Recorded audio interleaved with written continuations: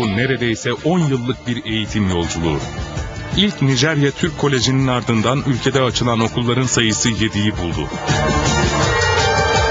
Türkçe, İngilizce ve Nijerce eğitim veren okulun öğrencileri Türkçe olimpiyatında da dikkatleri çekmişti.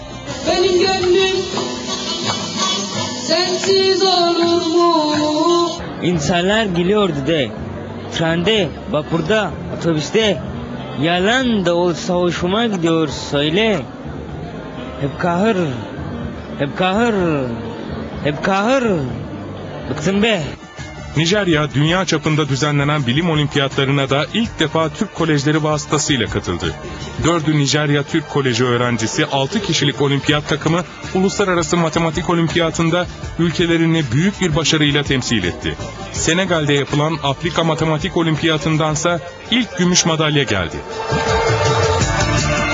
Ülkeye uluslararası alanda başarı kazandıran öğrencileri Nijerya Milli Eğitim Bakanı makamında kabul etti.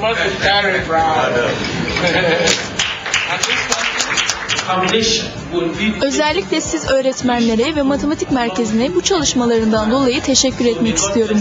Çocuklar çalışmaya devam edin.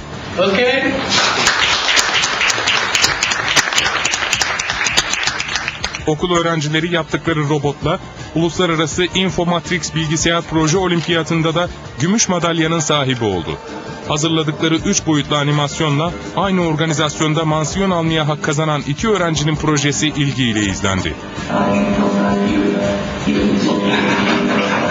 Nijerya şimdi ilk uluslararası organizasyonlarında ülkelerine madalya üstüne madalya kazandıran Türk Koleji öğrencilerinden yeni başarılar bekliyor.